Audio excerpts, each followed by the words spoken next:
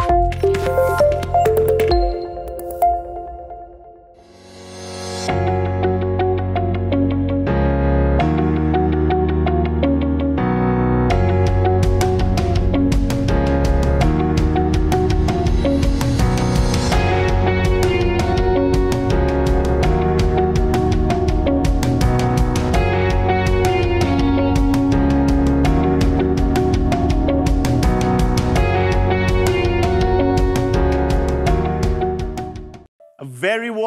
welcome to you to the CBS Family Service on this last Sunday of the month of May. We want to extend the warmest welcome to every single one of you.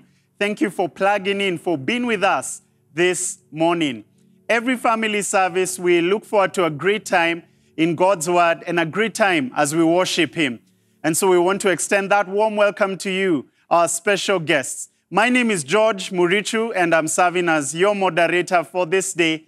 And we have lined up a great time, a great service as we lift up worship to the King of Kings and the Lord of Lords. And today we'll be led by this amazing anointed team, the CBS worship team, in just a short while. We'll also have a special message from the presiding bishop of uh, CITAM, that is Reverend Calisto Odede. A special message preparing us as the citizens of Kenya for the upcoming national elections. We welcome all who are listening in on Hope FM, all those watching us on Hope TV, and those live streaming on CITAM Church online channels. Welcome. Every Sunday at uh, 10 a.m. East African time, it's time for CBS Family Service. And today, our hashtag is looking for a leader. Looking for a leader. And I'd like you to go right there to the comment section and let's begin engaging as we use this hashtag, looking for a leader. If you can just go ahead and post your comments, drop a note about where you're following us from this Sunday morning. And as always, we want to start by lifting up worship and praise to the King of Kings. The psalmist said, I will enter his gates with thanksgiving in my heart, I will enter his courts with praise. So join me in welcoming this anointed team as they lead us in a time of worship this morning. Karibuni sana. Amen, amen. And wherever you are, why don't you just rise up on your feet? You want to just declare that our God is great, He is awesome. Hallelujah. Amen.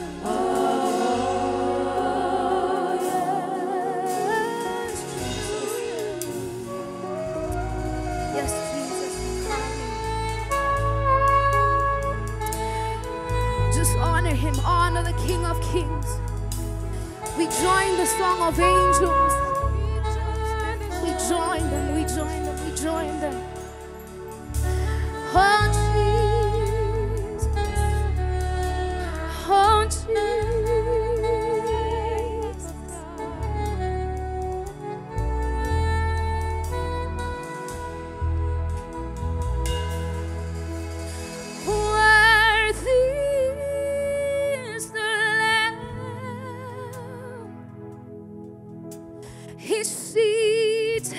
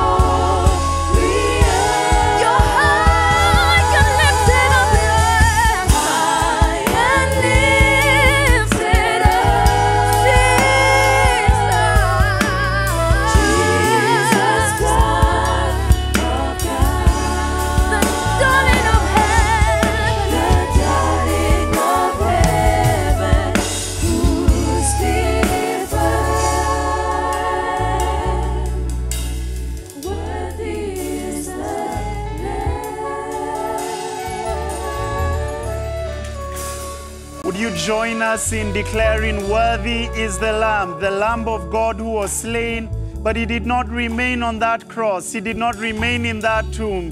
He rose up triumphantly and is seated on the right hand of the Father in power and majesty.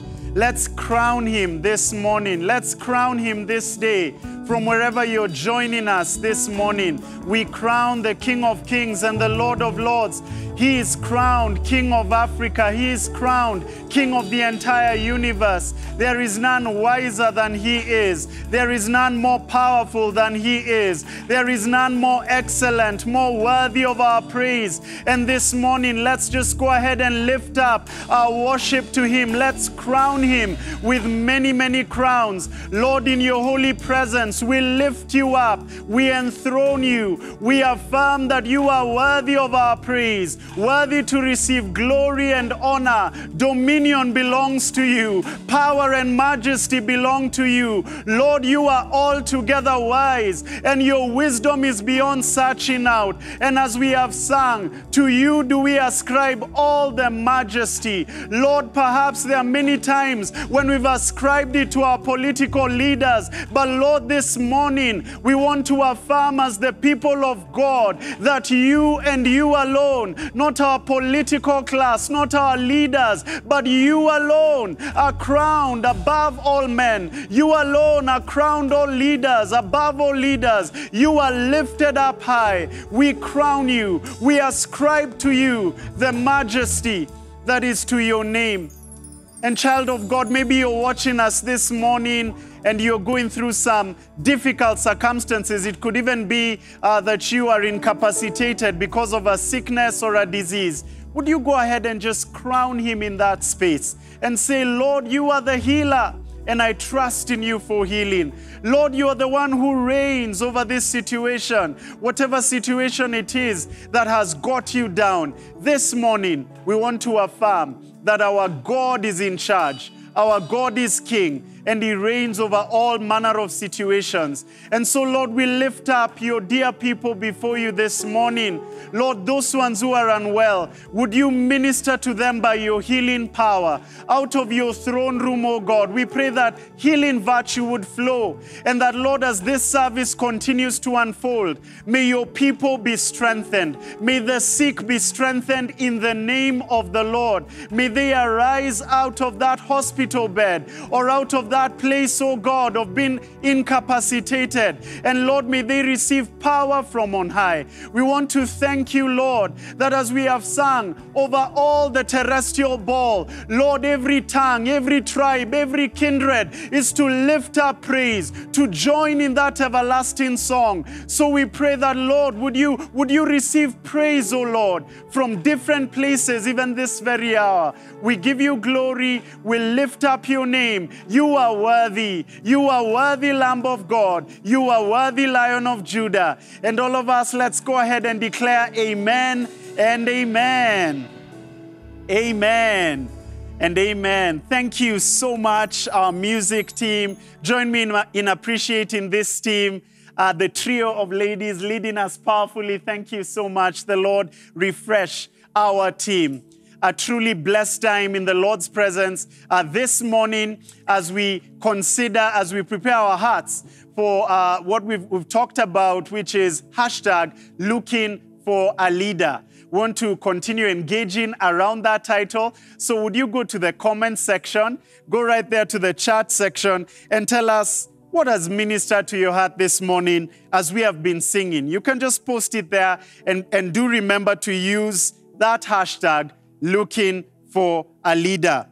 And uh, we want to particularly welcome those who haven't been with us on CBS for our family service. We want to welcome you to this time. Remember that every Sunday at 10 a.m. East African time, it's a time for us to worship together, a time for us to hear God's word, and it's going to be a time where you will be ministered to. So we extend that welcome to those who are joining us for the very first time. And we also want to welcome those who are joining us from different parts of the world, especially Namibia, East Timor, Romania, and the US of A, America. We want to welcome those uh, particular locations, people from those locations, because we have growing ministry presence in those locations. And as we sang that powerful hymn, crown him, crown him. We're saying that whether you're from that tribe, that kindred, that country, whatever place on this terrestrial ball, you are welcome to CBS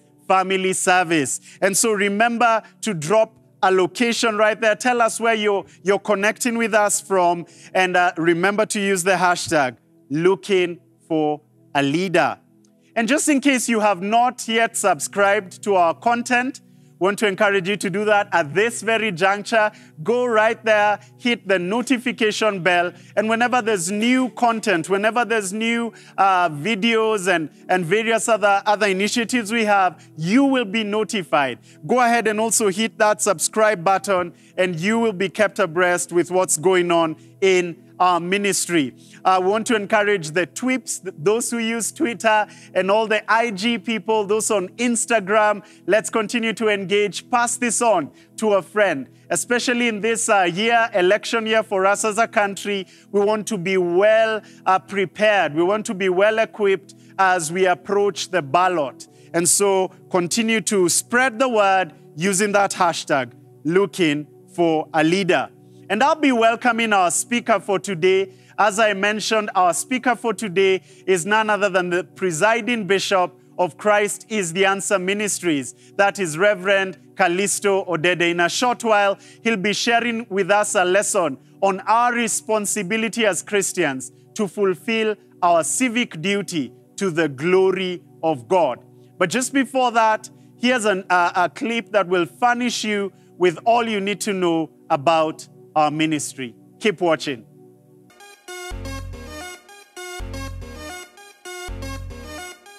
We are delighted to welcome you today to our CBS Family Service. If you are watching us on Hope TV or listening on Hope FM, or for those of you streaming live on our CITAM Church online social media platforms for the very first time, we extend a very warm welcome to you. Thank you for joining us as we take time to worship and hear from God. On Tuesdays, please join us on Hope TV, Hope FM, Facebook, and YouTube at 5 p.m. for the After Sunday live discussion where any questions you have about the subject of the sermon today will be addressed. We welcome you to join us on Wednesday for the live midweek prayer service from 6 p.m., broadcast on Hope TV and Hope FM, and on all the CITAM Church online social media platforms. We invite you to send in your prayer requests before or even during the service. Our pastors will be praying with you and for you. Planning to get married? We encourage all our members to contact your senior pastor for direction on the steps to be taken in preparation for your wedding. Our pastors will conduct weddings keeping strictly with the Ministry of Health guidelines, so please contact your pastor in good time to make arrangements.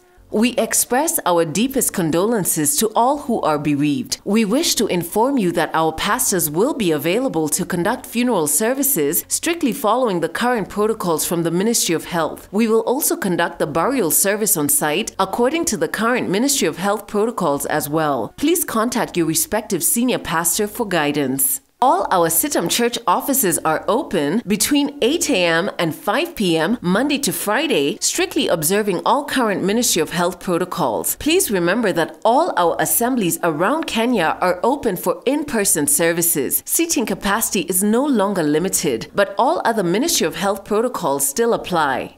Thank you for staying connected to the CITAM broadcast service. Thanks for paying attention to these notices. God bless you, and please enjoy the rest of the service.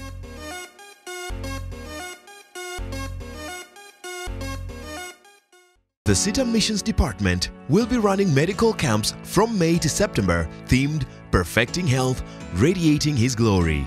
We invite volunteer medics to register for the medical camp drive according to dates available or preferred mission station. Archers Post the 9th to the 13th of May, Marsabit, Gororukesa, Matarba the 7th to the 10th of June, Kargi the 20th to the 25th of June, Loyangalani 19th to the 24th of September, Alterot 26th to the 30th of September. We are currently receiving donations of medical supplies, cash, and in kind for the communities in the various mission stations. Partner with us today through the paybill number 693371, account Medical Camp, or call 0709 861 165 during working hours, or email missions at citam.org for registration and inquiry. Donations are receivable in any CITAM assembly near you. 3 John chapter 1 verse 2 Beloved, I pray that all may go well with you and that you may be in good health as it goes well with your soul. To keep the work of this ministry going, we would like to enlist you to support this work. You've, you've seen part of the ministry that the Lord is enabling us to do. And so we want to encourage you to uh, worship the Lord with your tithes and your offerings. And as you do this, you will enhance God's work through this ministry. So we're going to uh, make a prayer for our tithes and our offerings. And thereafter, there's a clip that's coming your way to help you know how you can support this work and ensure that the gospel keeps going till the very ends of the earth. Let's believe and pray. Father in heaven, we are very, very grateful that you have enlisted us to be co laborers with you, to join you in that which you're doing, to join your work. And part of how we support your work is to give, to give unto you, O God.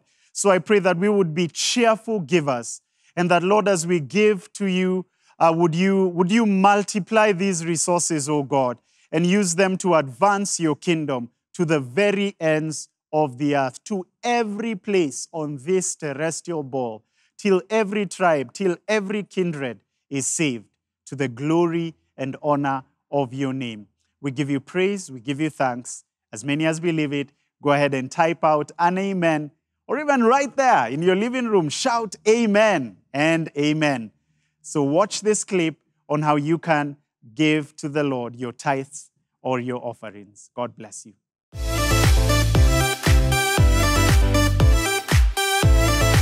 It is now time to express our worship to God through giving. Thank you for your continued support of God's work here at CITAM.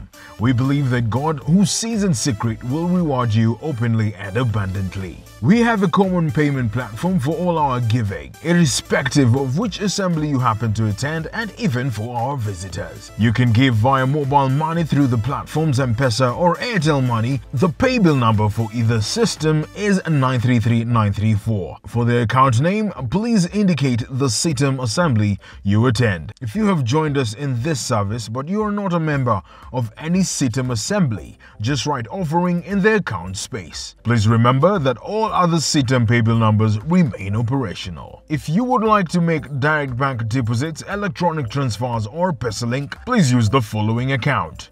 Account name Christ is the Answer Ministries. Cooperative Bank University Way Branch and the account number is 011 280 617 63900. The SWIFT code KCOOKENA.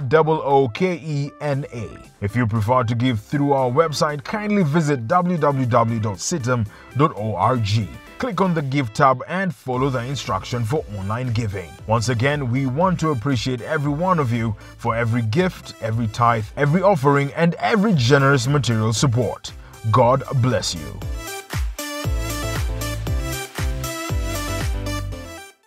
It's now time for us to hear God's word this morning. And to bring to us God's word is no stranger here on CBS Family Service.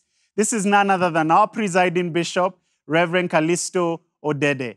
And the title of the sermon is Captivating. It is catchy, captures what's going on in our scene right now. And I'm convinced that you will be blessed. I'm persuaded about that. And I know that as you engage using that hashtag, many others will continue to be blessed. So keep that going. The hashtag is looking for a leader. And as you do that, put those emojis as we welcome our bishop to bring to us God's word. Most welcome, Bishop. Thank you very much, uh, Reverend Muricho. What a blessed uh, Sunday it is that the Lord has given us again today as we reflect both upon His word and upon these uh, matters that are facing us as a nation as we head towards the period of our elections. And I do believe that over the last few weeks, as we've been sitting down and hearing from the Lord, that God has spoken to us, that somehow our opinions and our ideas are taking shape in as far as the future of our nation is concerned. Allow me today to take us to a passage from the book of 1 Samuel, chapter 12, verse 1 through verse 5. 1 Samuel, chapter 12, verse 1 through verse 5. Then Samuel said to all Israel, Behold, I have listened to your voice in all that you said to me, and I have appointed a king over you. And now, here is the king walking before you. But I am old and gray, and behold, my sons are with you. And I have walked before you from my youth even to this day. Here I am, bear witness against me before the Lord and his anointed. Whose ox have I taken? Or whose donkey have I taken? Or whom have I defrauded? Whom have I oppressed? Or from whose hand have I taken a bribe to blind my eyes with it? I will restore it to you. And they said, You have not defrauded us, or oppressed us, or taken anything from any man's hand. And he said to them, The Lord is witness against you, and his anointed is witness this day that you have found nothing in my hand. And they said, He is witness. I'd like to share with us on uh, a topic that I have entitled today, Where are the White Togas? Where are the White Togas? In less than 80 days' time, we will have the opportunity of electing our candidates of choice at the various levels of government here in Kenya. We sometimes think of the criteria that we do need when we are looking for a specific candidate, the kind of man or the kind of woman that they ought to be. We are sometimes moved by euphoria or emotions or sometimes ethnic anxiety, or even sometimes we turn to the chapter 6 of our national constitution in order to glean some insight on the kind of character of the candidate that we are looking for in the various elective positions. The history of the word candidate goes back to the ancient Roman days where people who stood for political office would wear special white robes that were called togas while campaigning. These men, when people would see them wearing these white robes or the togas, people called them candidati, which means whitened men. It is a name that is derived from the Latin word candidus, meaning pure white. It is a name that signifies purity, character, integrity. As a matter of fact, wearing that white toga indicated to the common wananchi, if I may call them so, that the individual that is walking before you is a pure individual, is actually a candidate for an elective position. And as our campaigns also heat up, we ask the question where are the white togas among those who are vying for various elective positions uh, in our country? The same Latin word, candidus, uh, is also the root word behind two English words. Uh, the word candid, to be pure, to be unbiased, to be straightforward, to be honest, to be forthright, to be authentic. But it also has a certain word, candida, which is a type of a parasite, a fungi, which consumes the bodies of human beings. We thank God for the many candidates who truly have come out in purity and in genuineness, in trustworthiness, in honesty, in authenticity. These are people who have been candid, and as a matter of fact, they probably would be people who today would be wearing white togas as they go out to campaign. But unfortunately, some who enter into the elective office do not come out wearing the white togas. They turn out to the parasites and leeches which are consuming and infecting their own people and amassing property at the uh, expense of their people. Are we responsible stewards of our characters? Are we responsible stewards of our resources? Are we responsible stewards of our positions? Are we responsible stewards of the power that is given to us in whatever office it may be? It is only when we wear the white togas uh, that we actually begin to make an impact and have an influence, uh, whether in the music arena, the media arena, the politics arena, the education arena, the business arena, the financial world, the house of governance, uh, because we are individuals uh, who are not just going on in order to fleece or eat uh, or in order to uh, feed on our people, but we are those whose character are being manifested in the kind of whiteness, if I may call it, uh, the toga or the robe that we would be wearing. The jury is out there asking the question what is an authentic leader? What does he look like? How does a real man or woman of integrity look like? Are they reliable? Can a person like this be found out? And some have even said it is not easy to know whether a person is genuine or not before they get into a position.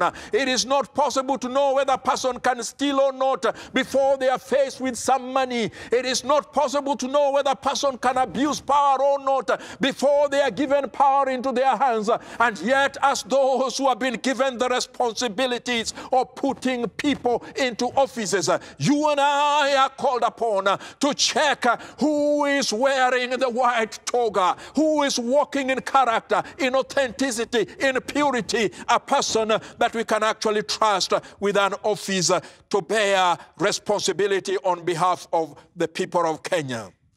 At one point, responding to scrutiny that the US presidential candidates received in one particular election, one contender complained and said, We are running for presidency, not for sainthood.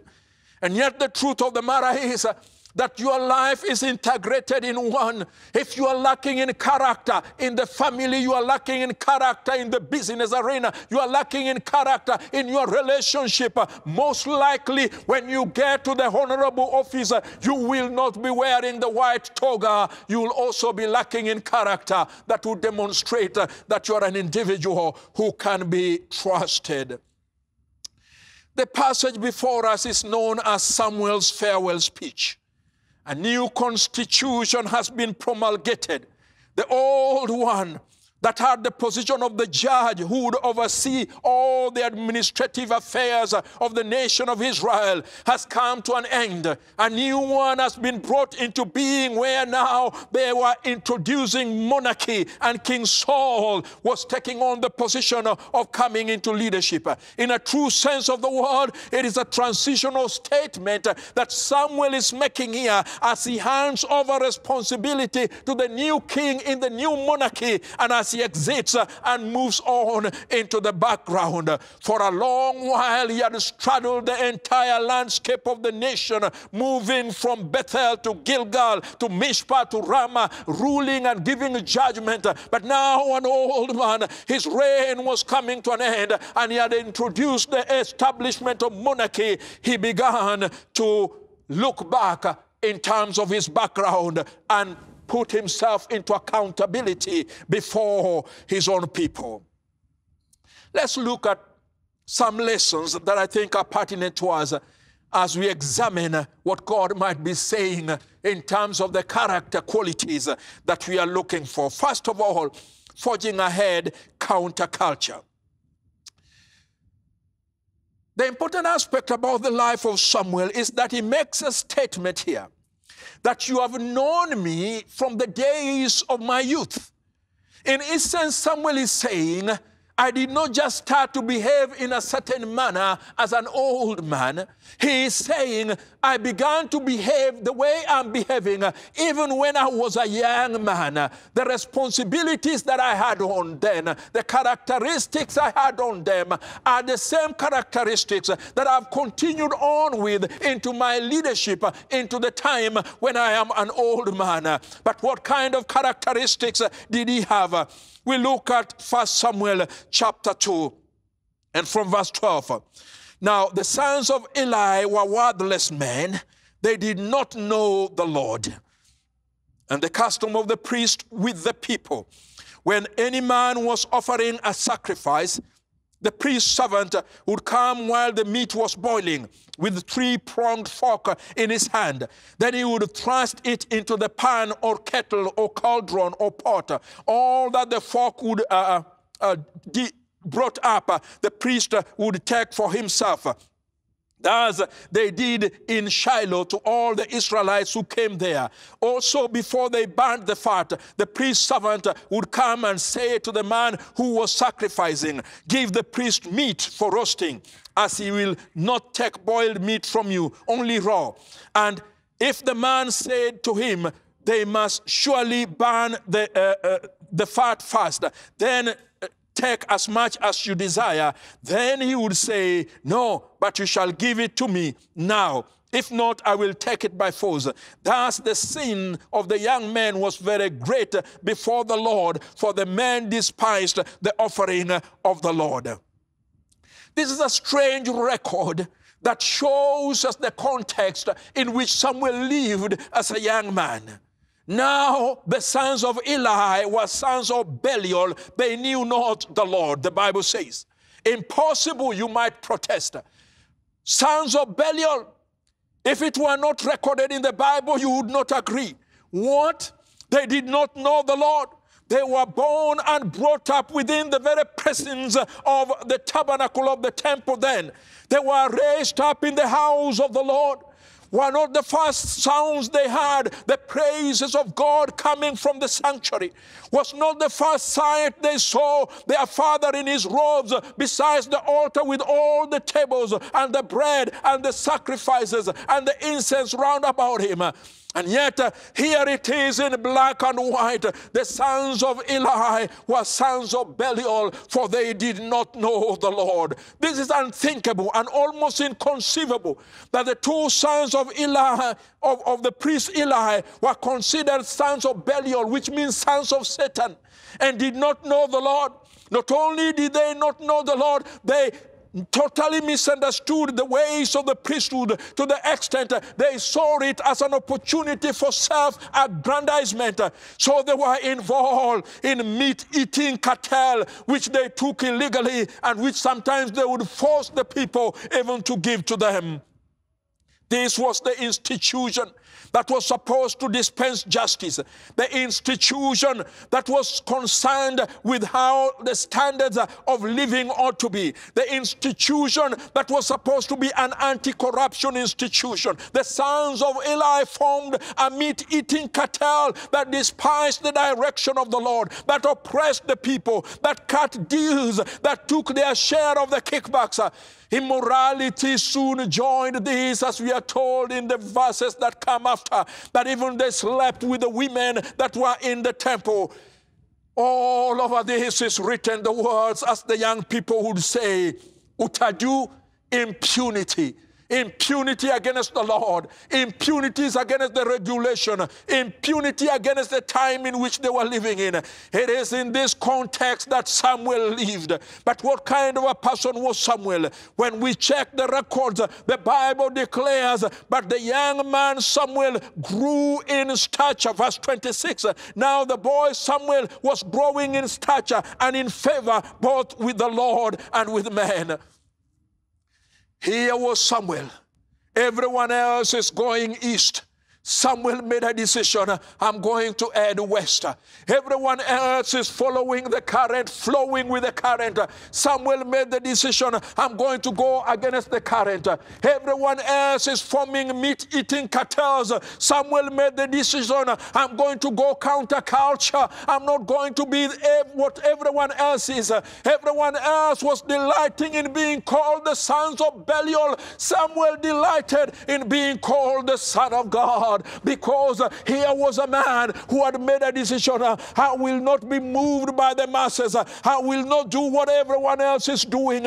If I am to make an impact in my generation, if I am to make an impact in my office, if I am to make a difference, I do not go according to the crowd. I follow the leadings of the Lord God Almighty. Hear me and hear me close as we look for the man wearing the white toga. Are there individuals out there? We have watched them perhaps not from the days of their youth, but we have watched the offices they have held. We have watched the responsibilities that they have had. We have watched how they have related with their families. We have watched their lifestyle. And here we are today. As we look at them, we can be able to state that man has lived according to the word of the Lord. That man has gone against the grain. That woman has stood up against the currents. He, she has stood up against what everyone else is saying. That we can be able to say automatically, here is one individual who is wearing a white toga and who is not flowing around with the crowd going counterculture. God's call for us is to be non-conformed reformist. God's call for us is to be able to start a movement, a movement of the discontented, a movement of those who are not waiting for the critical mass in order to go in a certain direction, a movement of the convicted individuals, a movement of those who have a persuasion and a conviction, a movement of those who will take a stand in the direction that they will go. Are you one of those? And are you thinking of someone who is like that, whom you might vote in in the various elective positions? That are coming uh, soon.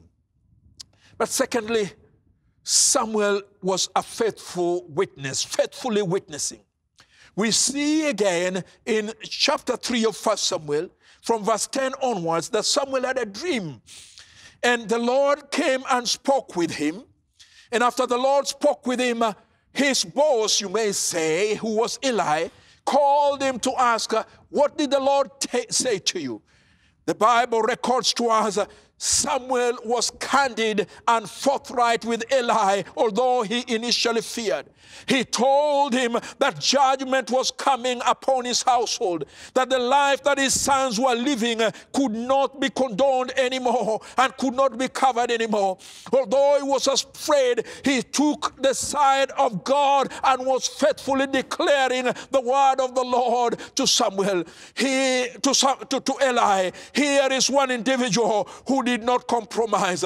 He spoke out uh, even when it was against his boss. He spoke out without fearing that he would be thrown under the bus, and that did not happen. Nor was he fixed for being a whistleblower, nor did he find himself in court as a victim, uh, nor did he find himself thrown in the river Jordan, or might we say in the river Yala, for having spoken out against the things that were.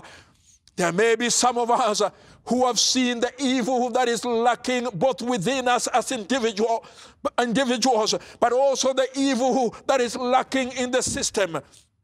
That there are systemic institutional evil that is raised up against the nation and against the people of God. Systemic evil that is taking away, that is the parasite that we started talking with uh, as men and women are taking away and leeching uh, as leeches, uh, taking away from us. that there may be systemic evil that is eating on our society. That we, like Samuel, may be faithful witness, uh, people who are willing to stand, whether it is costly, and people who are willing to pay the sacrifice in order to stand out for the truth, uh, rather than uh, who are singing out our melodies uh, to our favorite leader even when they are going wrong. A nation that does not tolerate truth is burying its head in the sand and aggravating the situation.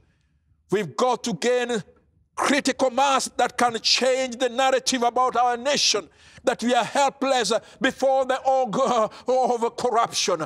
We've got to come out and be able to speak and be bear witness that there is a truth out there and be candid about it. That is what a candidate is. He's a candid person.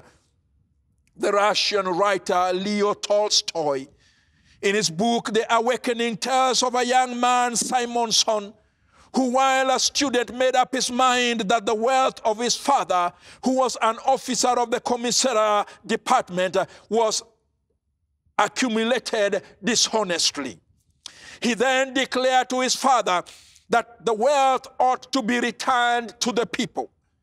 He also made a commitment to have nothing to do with the wealth of his father because he said it was acquired illegally.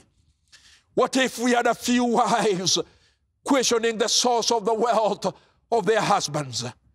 What if we had a few sons and daughters raising matters with their parents? How did we acquire all this wealth? What if we had a few parents questioning the wealth of their children? What if we had a few pastors uh, calling their members uh, to find out the stories uh, that are circulating about them, whether there are some truths in those stories? Ladies and gentlemen, the call is for us to bear witness to the truth that we know, and people who bear this witness are the kind that wear the white toga because they're speaking candidly to the situation as it ought to be. And thirdly, finishing well.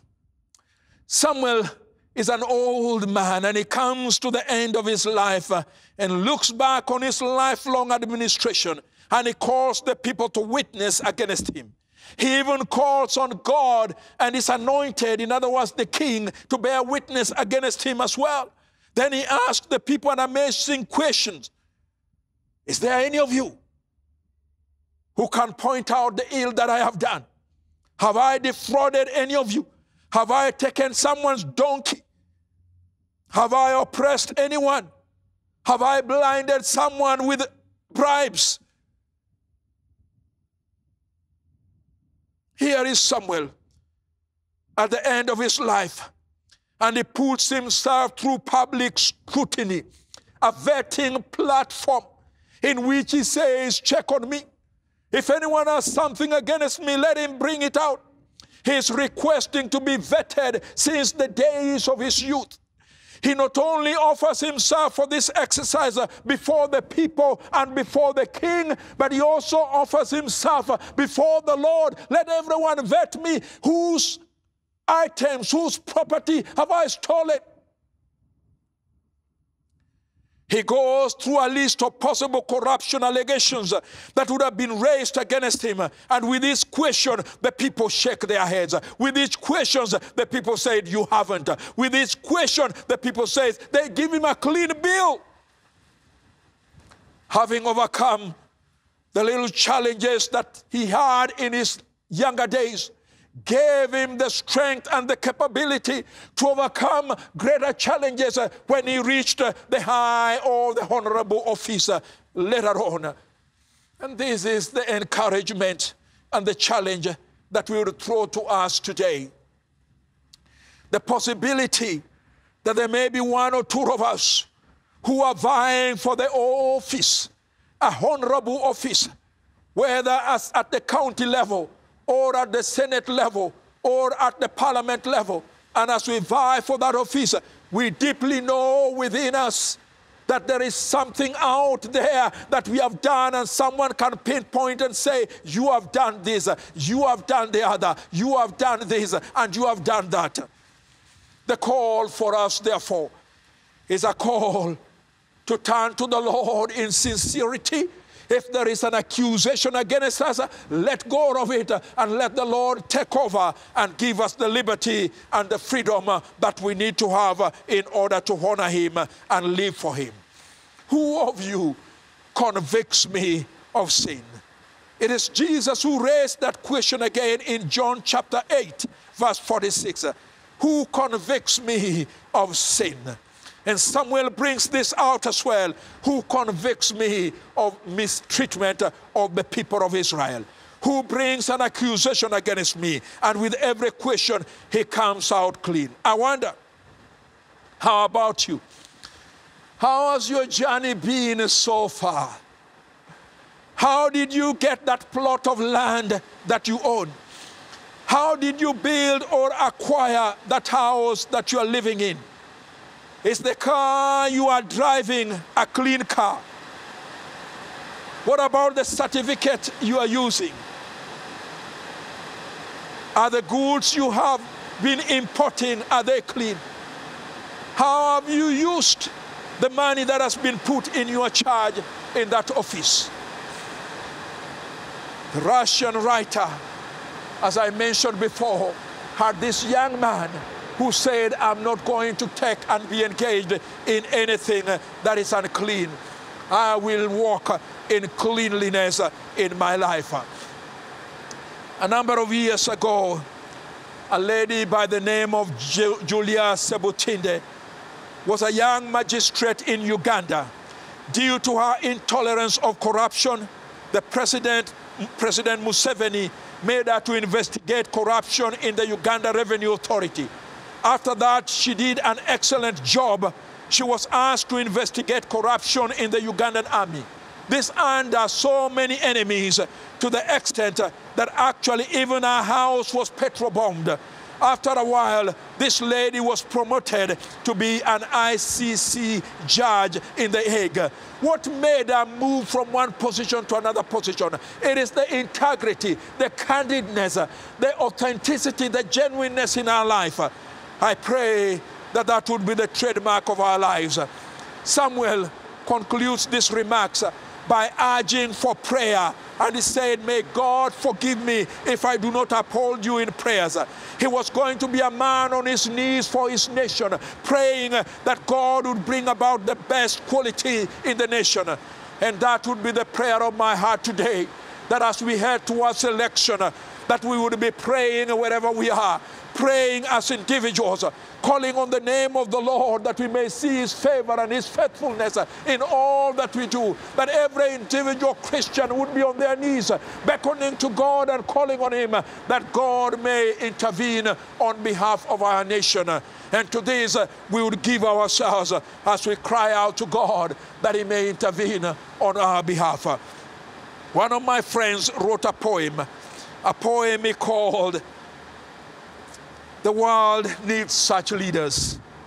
The world needs leaders who cannot be bought, whose word is their promise, who put character above wealth, who possesses opinions and a will, who are larger than their vocations, who do not hesitate to take chances, who will not lose their individuality in a crowd, who will be honest in small things as well as in great things, who will make no compromise with wrong, whose ambitions are not confined to their own desires, who will not say they do it because everybody else is doing it. The world needs such leaders.